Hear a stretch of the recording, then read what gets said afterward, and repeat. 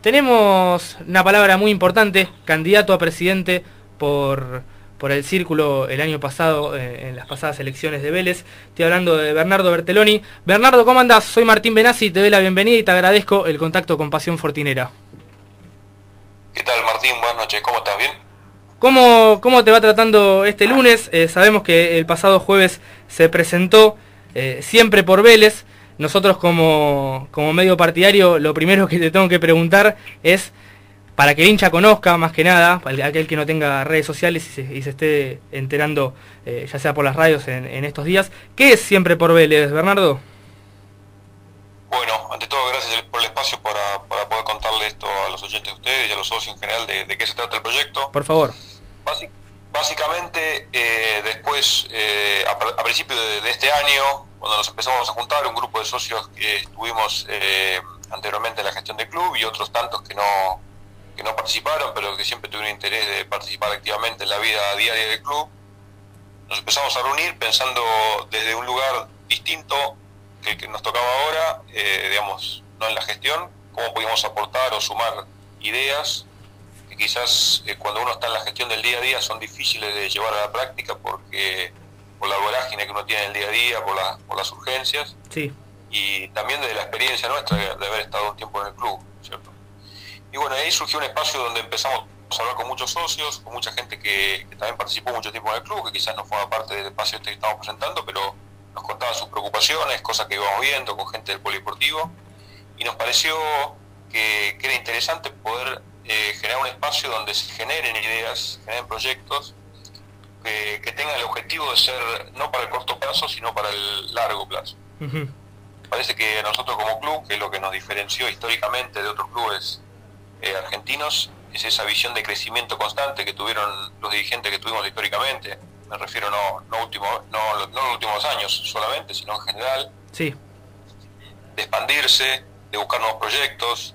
Eh, yo contaba el jueves que hubo allá por la década, hace más de 50 años un iluminado que fue Amalfitani que, que tuvo la visión a futuro de construir un estadio que Vélez no necesitaba en ese momento, pero que sabía Amalfitani que Vélez lo iba, lo iba a posicionar a Vélez histórica, eh, estratégicamente en el barrio, en la zona.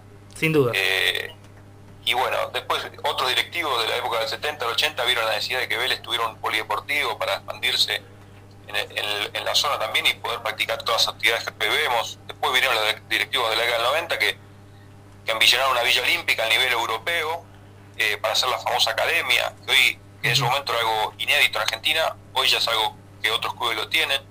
Y bueno, nosotros eh, proponemos seguir trabajando en ese sentido, con esas ideas, de un espacio que no, tiene que estar limitado a la actividad política, sino que tiene que ser un espacio para generar ideas y proyectos en ese sentido, empezando a largo plazo.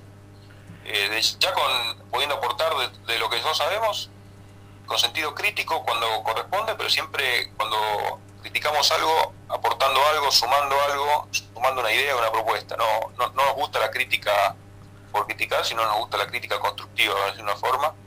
Y en eso, en eso es lo que vamos a trabajar. El jueves presentamos una serie de proyectos sobre los cuales vamos a empezar a trabajar queremos eh, acercar a todos los socios a que los, nos ayuden a, desarrollarlos, más allá del desarrollo inicial que ya tienen, para después también poder trabajarlos en conjunto con la comisión directiva y, llevarlos a la práctica, digamos. Y es un poco la, idea de siempre por Vélez. ¿Quiénes conducen siempre por Vélez, Bernardo? Eh, a ver, hay ex dirigentes de Vélez, hay gente que se está sumando recién ahora que quiere, que quiere asomar eh, políticamente en el club o que, tiene ganas de, aportar desde otro lado, desde una conducción.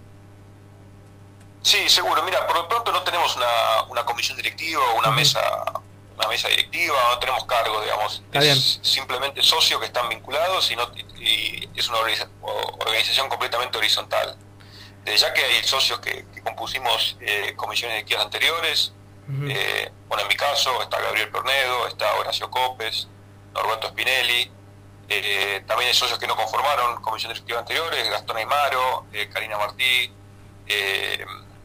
Fabio Rochin, que, son socios que hicieron presentaciones el, día jueves, Facundo Sinatra, Juan Cruz Montero, José Luis Vinci, Eduardo González, bueno, etcétera.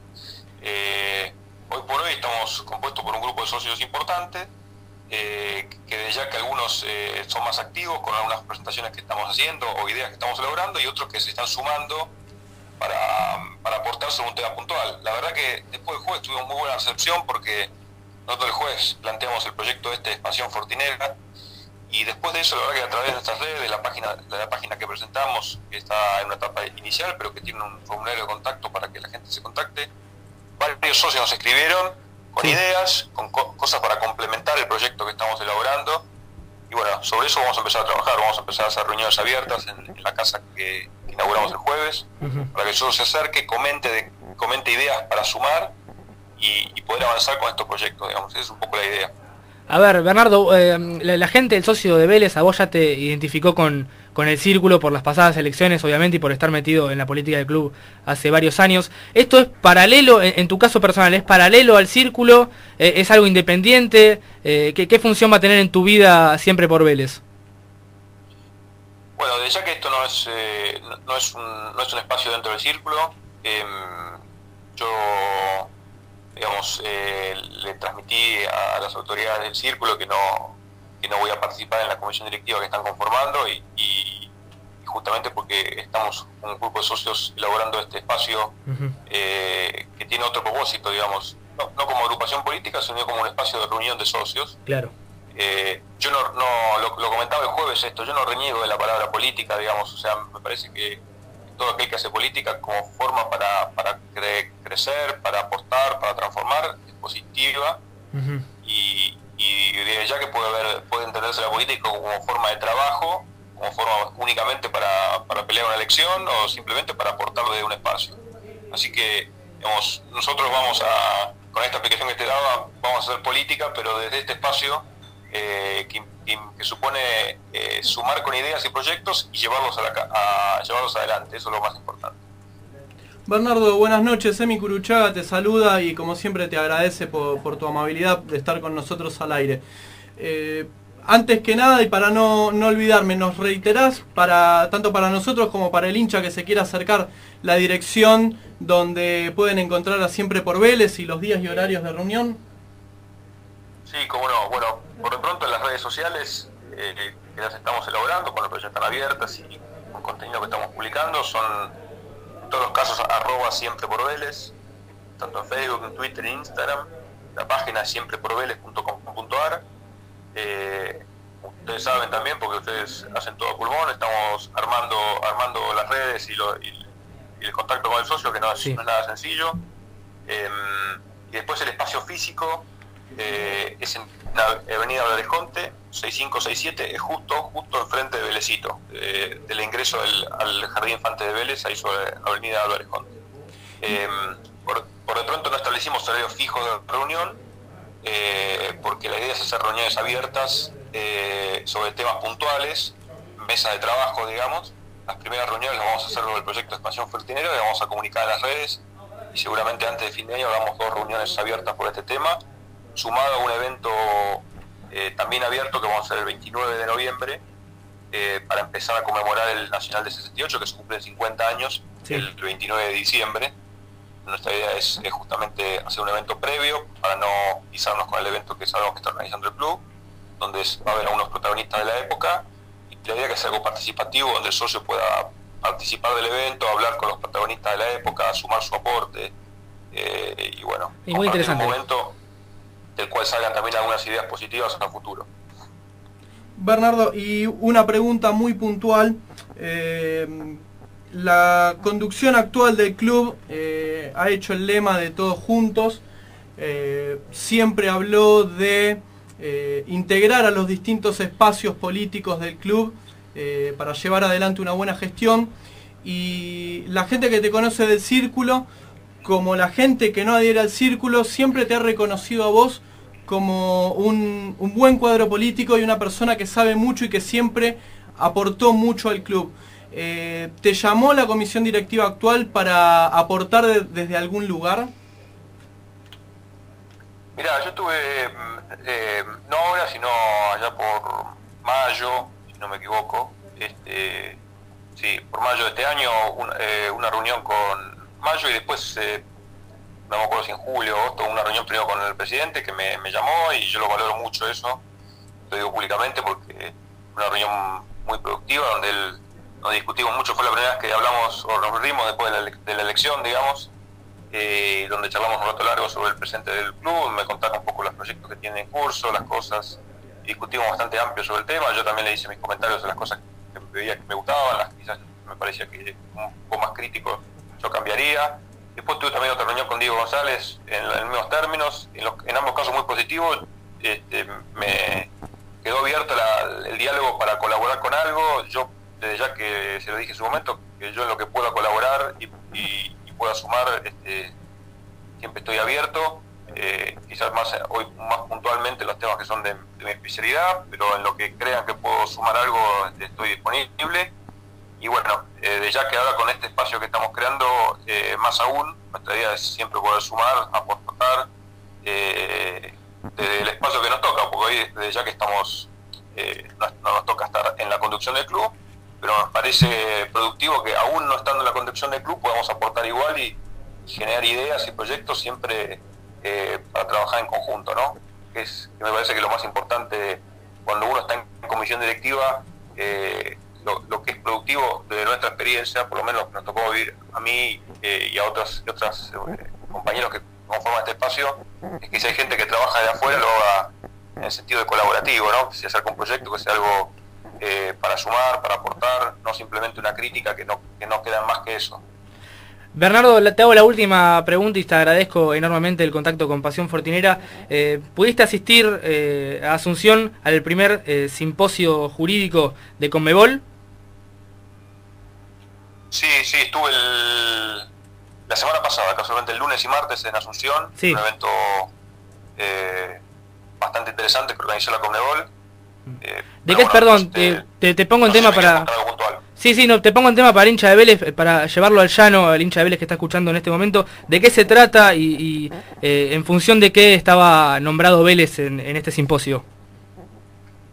Bueno, básicamente eh, simposio es una palabra media rara, la explico porque la verdad que es un término que le, pusieron la gente de la Comnebol, es una especie de congreso jurídico que organizó la Comnebol en Asunción, la primera vez que lo organizó, y donde asistieron, la verdad que eh, personas bastante relevantes del ámbito del, fútbol, eh, eh, asistieron el director de legales de FIFA, árbitros del TAS, miembros del Tribunal de Apelaciones de FIFA y de Comnebol, bueno, ya autoridades de la Comnebol, estaba el presidente de la Comnebol, abogados y, representantes de estos clubes. Y básicamente fue un encuentro para, para discutir distintos temas de interés diario que se dan en los clubes, en, los procedimientos ante FIFA, ante Comnebol, ante el TAS, eh, temas que hoy están bastante en discusión, en boga, sobre transferencias internacionales, sobre transferencias de menores, sobre mecanismos de solidaridad. Así que fue un evento de dos días ahí en Asunción, en el Centro de Convenciones Comnebol, bastante interesante. Y mm, particularmente eh, en el caso de Vélez, eh, lo comenté el jueves y bueno, lo resumo brevemente ahora. Eh, se tocaron algunos casos, decir, jurisprudenciales de la historia del TAS y de FIFA. Y los más actuales, ¿no? Sí, exactamente. Y, algunos y, justamente de, esos pocos que se tocaron, eh, dos eran de, eran de Vélez, uno era el de caso Garré y otro el, el caso de Mauro Zárate, los dos del caso Mauro Zárate, porque tuvimos en su momento dos conflictos ante el TAS por Mauro Zárate. uno fue cuando fue la transferencia del club al SAT al Lazio primero y después otro cuando este, con la ruptura contractual de, Mauro en, eh, cuando vuelve a Vélez. Eh, y bueno, se los planteó como casos testigos porque realmente en el, ámbito son, no son tantos los casos que llegan al TAS, eh, una cuestión de, complejidad y de costas. Y bueno, se plantearon esos dos casos como casos testigos, casos jurisprudenciales, y la verdad que mm, más allá que un caso sea positivo, el caso de Mozart es positivo como resultó para Vélez, el de Garré no fue positivo. Eh, yo valoro que, que, se los plantee como caso testigo porque básicamente lo que se, dejó dicho en el caso de puntualmente es la defensa que Vélez hizo hasta última instancia, ante la última instancia de apelaciones que tenía para plantear su posición. Y de hecho en mi caso puntual tuve la opción, tuve la oportunidad en el Congreso de manifestarle al representante de FIFA la discriminación que hoy sufren los clubes formadores argentinos y de Sudamérica respecto a clubes europeos, lo cual fue reconocido por otras personas que estaban ahí y, se le, vamos a decir, le exigió, se, le, se, le requirió a las representantes de FIFA que consideren esta situación puntual eh, para corregir la legislación actual de FIFA, que claramente, como te decía, discrimina a los clubes sudamericanos por sobre los europeos.